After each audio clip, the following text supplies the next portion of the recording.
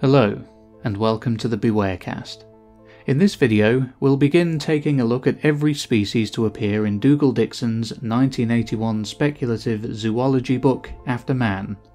We'll go through them all in alphabetical order, in this video going from A to F. But before we get started, I'd like to ask that you please hit the like button as it helps with getting this video recommended to people and if you end up enjoying this video, then please hit the subscribe button and the bell icon to be notified of future uploads. Thank you. We'll start with the anchor whip, an extremely long, thin, arboreal treetop canopy dwelling colubrid snake from Africa, similar to the boomslang. It is among the several tree living species of the African tropical forest and is perhaps the most specialised. Its broad, grasping tail, the most muscular part of its body, is used to anchor it to a tree while it lies coiled and camouflaged among the leaves of the tallest crowns, in wait of an unwary passing bird. The snake is capable of darting out 3 metres, equivalent to about 4 fifths of its body length, and seizing its prey while still retaining a tight hold on the branch with its tail. The angler heron an ardeine heron from the temperate wetlands of North America, descended from the green heron. Fishing skills have been developed to a high degree by the angler heron. This bird creates shallow ponds at the water's edge in the shade of overhanging trees by scraping at the river bottom and constructing shallow dams. On the shore nearby, it accumulates a heap of droppings and fish remains to attract beetles and flies.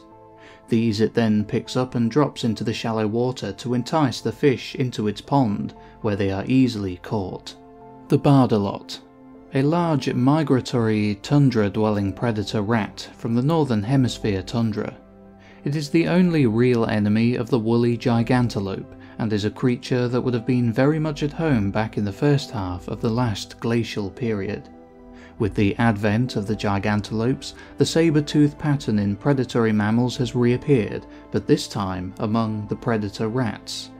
The Bardalot, unlike other members of the group, exhibits sexual dimorphism in that only the female is equipped with saber teeth, as well as a bony pouch for them, and hunts woolly gigantelopes, the male, having none, resembles more the polar bears that once inhabited this altitude and hunts the seal-like python rats. Bardalots are about 8 feet long and 3 and a quarter feet high at the shoulders. Males have a mass of about 499 kilograms, females about 390 kilograms. The beaver now a newly evolved posthomic form from coniferous forests in Europe, Asia and North America, similar in shape to pinnipeds. One large rodent that became adapted to a semi-aquatic way of life during the Miocene, partly as a defense against predators, was the beaver. After humans went extinct, the beaver became even better adapted to life in the water its tail and hind feet have become fused together into one large paddle, which, when powered by its backbone, produces a powerful up and down swimming stroke. Its ears, eyes, and nose are placed high up on its head and remain above water when the rest of the animal is submerged. Surprisingly, the paddle does not impair the creature's movement on land and is used as a grasping limb, enabling it to climb partway up trees, increasing its potential supply of food and building materials. The bootie bird, a large tundra-dwelling long-necked corvid from the northern continent descended from the carrion crow. It is the largest avian enemy of the meeching.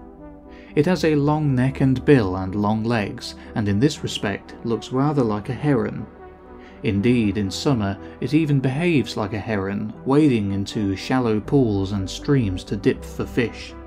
In the winter, it develops insulating feathers along its legs to protect them from the cold and becomes a land predator, hunting any smaller animals that are active at the time. It probes for meechings through the snow, the broadbeak, one of the larger predatory birds found in conifer forests in general, having a wingspan of over a metre. It is descended from the starlings, which expanded to fill the gap left when many of the ancient predatory birds became extinct during the reign of humanity. It has a rounded tail and broad, blunt wings, which enable it to fly swiftly and maneuver in the tight spaces between the trees. It has a straight, powerful bill and strong talons, which it uses to grip its prey. The Chirit, a herbivorous, tree-dwelling, long-bodied squirrel from the temperate woodlands of Eurasia. Plant-eating mammals abound in the trees of the deciduous forests, eating shoots and leaf buds in the spring and fruits, including nuts, in the autumn. The chirit is a typical plant-eating mammal. Its particular shape is a legacy from an immediate ancestor, the chiselhead of the northern coniferous forests.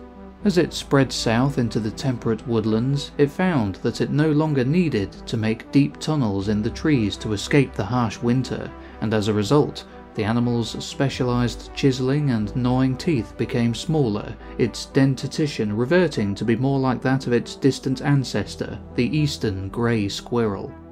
Its bodily shape, however, was still perfectly adapted to life in the trees and remained unchanged.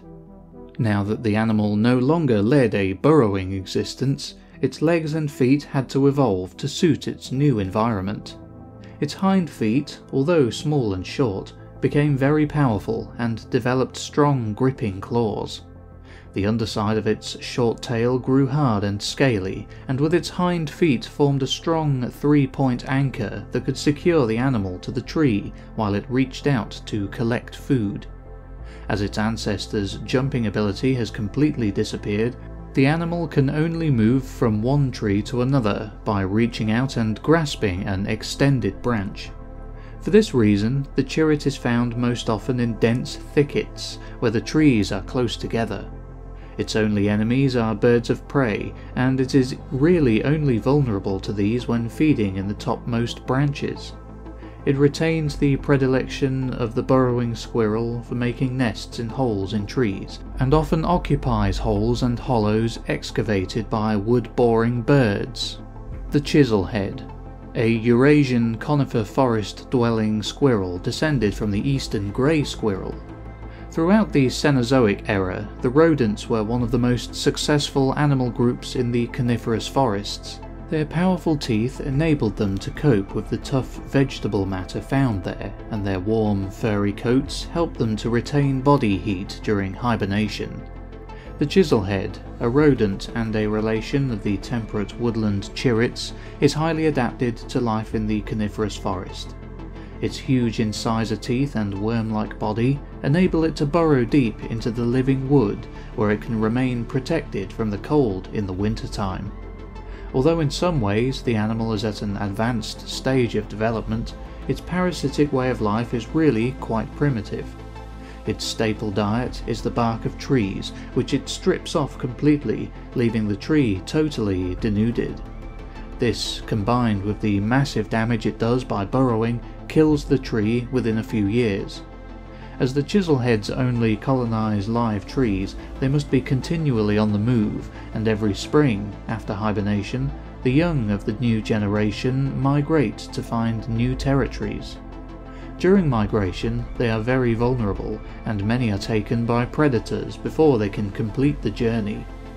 This balance between chiselhead and predator is highly critical, and it needs only a slight reduction in the number of predators to produce an increase in the population of chiselheads that would lead to the total destruction of vast areas of coniferous forest. No other small rodent found in the coniferous forest is quite so destructive. The chuckaboo an energetic, monkey-like possum from the Australian rainforest. As in previous ages, the Australian marsupials of the posthomic have developed forms that are superficially very similar to those of placental mammals existing in similar environments in other parts of the world. A prime example of this is the chuckaboo, essentially a marsupial monkey with grasping four legs, opposable digits, and a prehensile tail. Its bodily form, similar to many of the true monkeys in Africa and Asia at this time, is well suited to life in the trees. The clatter. A grey herbivorous lemur sloth-like loris from the tropical forests of Asia. It is a prosimian with a heavily armoured tail protected by a series of overlapping horny plates, demonstrating the principle of tree dwelling primates that developed new physical attributes to protect themselves from strigers.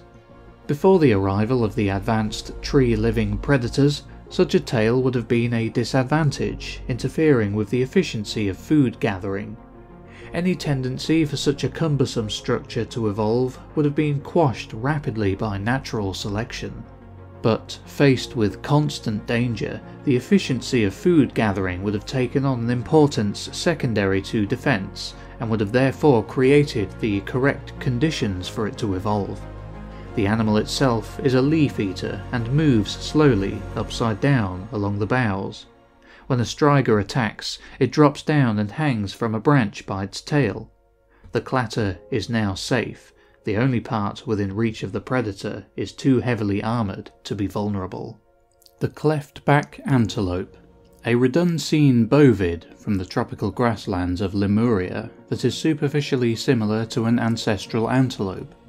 It has a curious symbiotic relationship with the tick bird, this relationship is really no more than a strengthening of the symbiosis that had developed between small birds and large grazing mammals during the early part of the Cenozoic. Birds on the grassy plains often accompanied the large mammals, catching the insects disturbed by their hooves, or pecking ticks and mites from the hides of the big mammals themselves.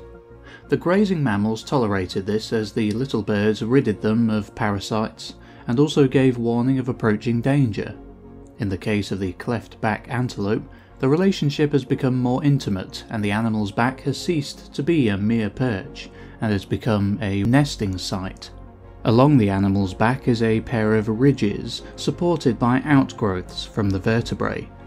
Between the ridges is a deep cleft lined by stiff hairs that provide an ideal nesting medium for the tick bird. Several families may nest on its back at any one time. Superficial warts on the animal's flanks produce pus at certain times of the year. The pus attracts flies, which lay eggs in the warts. The flies' maggots appear just as the young birds are hatching and provide them with a ready made source of food. In return, the antelope is supplied by both a constant grooming service and an early warning system that alerts it to approaching predators. The common pine chuck, a finch from the coniferous forests of Eurasia with great sexual dimorphism in which the male and female look like two completely different species. It is descended from the European greenfinch, which was a bird similar in physical appearance to the present day female, and the male has evolved his own distinctive features primarily for display, and his eating habits are a secondary development. Of the many seed-eating birds found in the coniferous forests, the largest is by far the common pine chuck. The two sexes of this species are quite different, both in appearance and in their mode of life. The male is much more powerfully built and is equipped with a massive beak, which he uses for breaking open pine cones to feed on the seeds. The female, much smaller and drabber, totally lacks the male's heavy beak and is really a scavenger, supplementing her diet with carrion, grubs, adult insects, and other birds' eggs. The desert leaper, a large kangaroo-like gerbil from the deserts of Asia and Africa, with the lifestyle of a dromedary camel. The extinction of the dromedary camel is at about the same time as humanity died out, and left a niche that was distinctly unattractive to any other animal. For a large animal to exist in desert conditions, a quite remarkable physiology is required. The dromedary camel, for instance, was able to lose about 30% of its body weight through dehydration without ill effects, and it stored all the subcutaneous fat of its body in one lump, leaving the rest of the body free to radiate heat. It could tolerate fluctuations in its body temperature to some extent, and had thick nostril covers and eyelids that effectively kept dust and sand out of its nose and eyes. After some 50 million years of evolution, these features have all developed again in one posthomic animal, the desert leaper. The leaper is descended from the sand rat and has grown large. Adult males may reach more than 3 meters from nose to tail. The tail is the most unusual feature of this animal. It is here that all its subcutaneous fat is stored. The fat is not a water store, but a store of food that enables the leaper to go for long periods without eating when food is unavailable.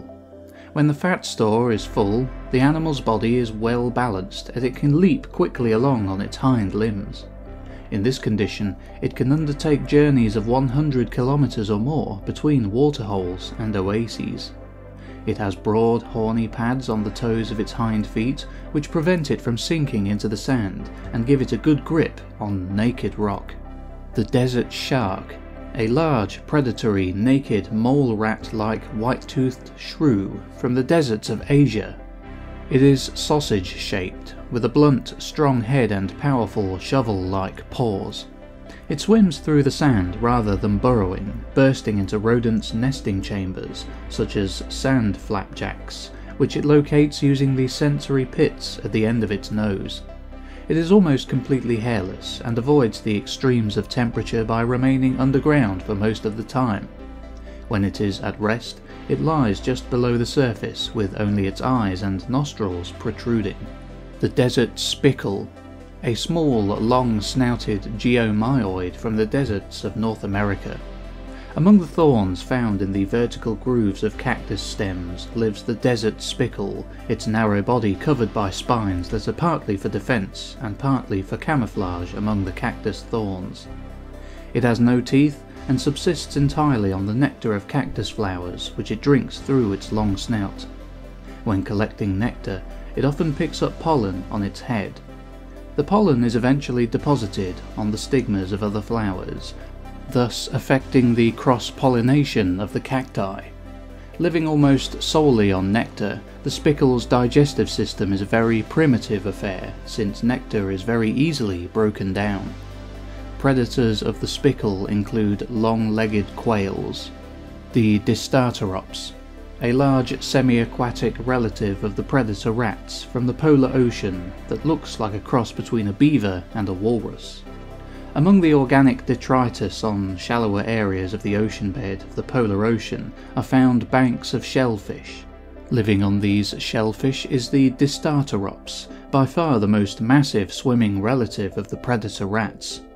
It reaches a length of about 4 metres and has an insulating coat of matted hair made up of a mosaic of solid plates, giving it a lumpy rather than streamlined appearance. Its most unusual feature is its teeth. The upper incisors form long, pointed tusks. In males, the left hand one projects forward, whereas the right hand one points straight down, and is used as a pick for removing bivalves from the sea bottom. This asymmetry is also found in the limbs, the left forelimb only is equipped with a strong claw, which it uses to dislodge particularly stubborn shells. The fat snake, a large elapid from the undergrowth of the Australian tropical forests. Convergent evolution on the Australian subcontinent is not solely characteristic of the marsupials.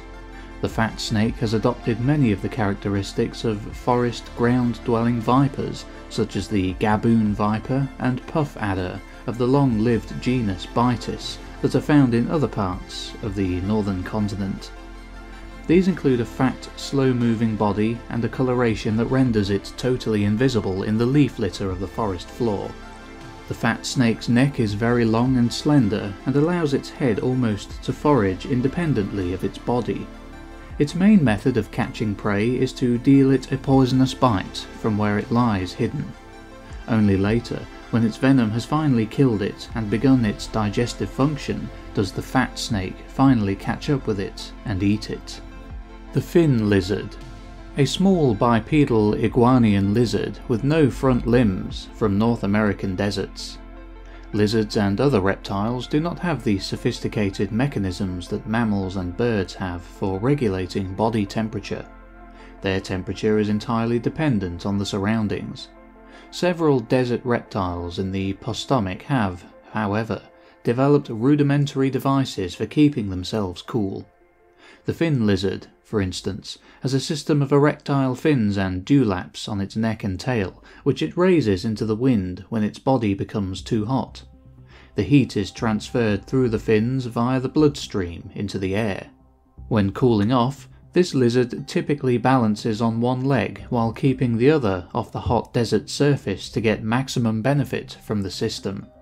Predators of the fin lizard include long-legged quails, the flightless auk, a flightless semi-aquatic penguin great auk-like alcine auk from the polar ocean. In winter, the polar ocean is largely barren. In spring, however, the sunlight produces a bloom of unicellular algae near the surface, which provides food for the microscopic animal life that forms the basis of the oceanic food chain. In spring, shoals of pelagic fish come northwards through the northern island barrier to feed on the zooplankton, bringing with them countless numbers of seabirds.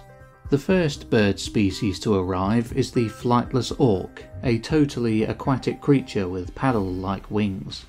In this respect, they resemble the penguins, which were so successful in the southern hemisphere in earlier times.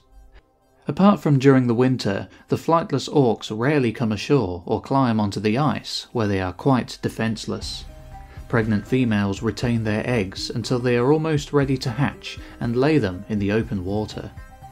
The flightless auks first evolved at the northernmost tip of the northern continent and, as they became established, spread both east and west, forming a chain of subspecies in a ring around the polar ocean.